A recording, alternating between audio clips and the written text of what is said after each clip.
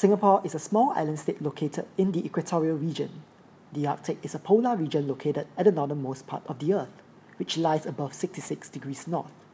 This includes the following areas. Singaporeans might think that what happens in the Arctic stays in the Arctic since it is located so far away from us. However, that is not the case. We will see why and how changes in the Arctic influences other parts of the world.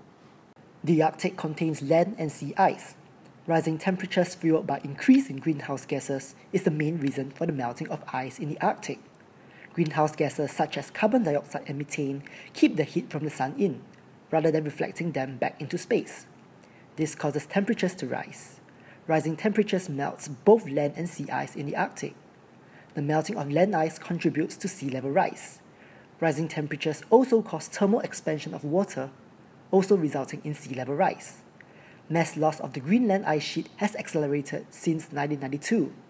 It has increased from 34 gigatons per year, equivalent to 13.6 million Olympic swimming pools, over 1992 to 2001, to 215 gigatons per year, equivalent to 86 million Olympic swimming pools, over the period 2002 to 2011 the Greenland ice sheet alone has enough frozen water to raise global mean sea level by 6 meters. Furthermore, the amount of sea level rise is not equal. Equatorial and tropical regions are more adversely affected. Ice sheets' large mass allow them to attract ocean waters towards them, raising surrounding sea level. When an ice sheet melts, its gravitational attraction decreases and sea level around it can go down. Conversely, regions far from a melting ice sheet will see a rise in sea level due to this change. When the Greenland ice sheet melts, areas furthest away in the equatorial regions have the greatest impact. Sea level in the Straits of Singapore has been rising. Between 1975 to 2009, sea level in the Straits rose at an average rate of 1.5 mm each year. There is an increasing trend in sea level rising rates here. According to worst possible projections, we could see a 6 meter rise by the year 2500. Much of our nation lies only 15 meters above the mean sea level, with about 30% of our island being less than 5 meters above the mean sea level, hence, proving Singapore's vulnerability towards sea level rise. Our current efforts to defend our coastal areas from erosion include the construction of walls and stone embankments covering 70 to 80% of Singapore's coastline.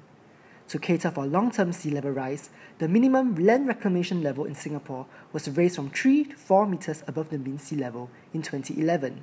In fact, in the 2019 fiscal budget, Minister of Finance Heng Swee Keat has announced to increase the budget towards increasing the resilience of our infrastructure to climate change and sea level rise. He said, Climate change and sea level rise threaten our very existence. As a low lying nation, there is nowhere to hide when sea level rises.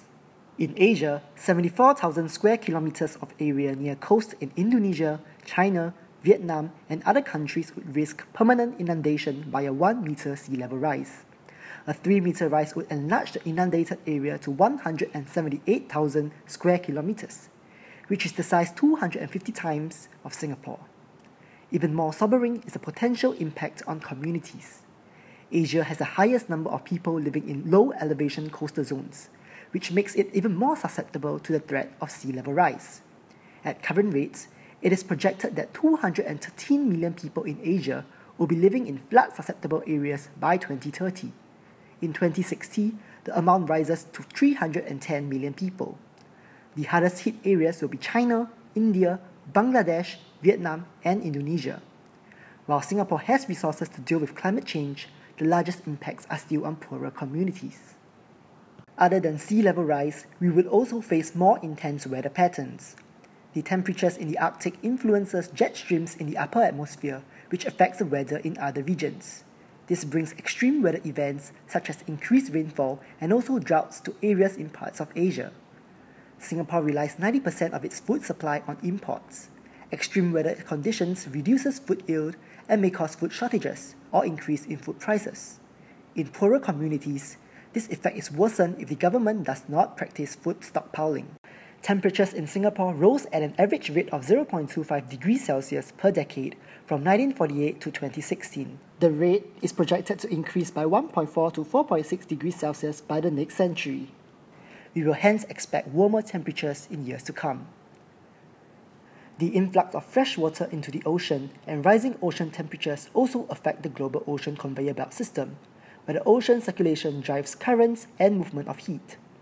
The melting of Arctic ice inputs fresh water into the oceans, affecting salinity and temperature, hence slowing down the ocean circulation. This ultimately affects nutrient circulation within the waters, causing changes in our marine ecosystems. The melting of Arctic ice can also affect Singapore's status as a regional shipping hub through the development of new shipping routes. The opening of the Northern Sea Route shaves 30% of travel time compared to traditional routes. Professor Tommy Koh spoke. We are one of the largest ports in the world, and development in the Northern Route could impact the status and prosperity of our port.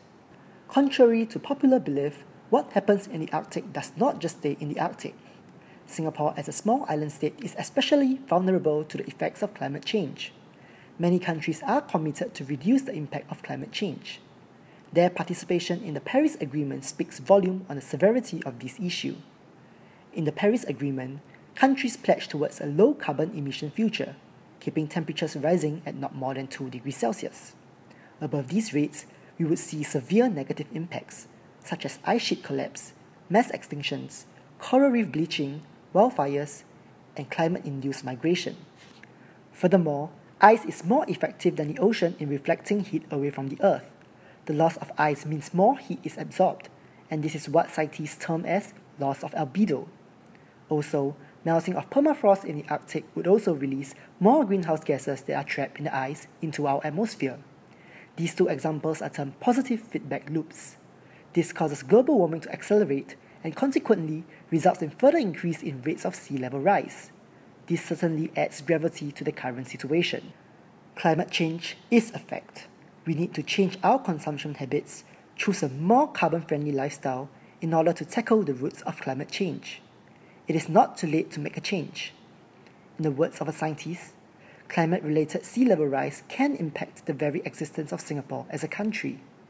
If we continue with business as usual lifestyles, Singapore could become the next Atlantis.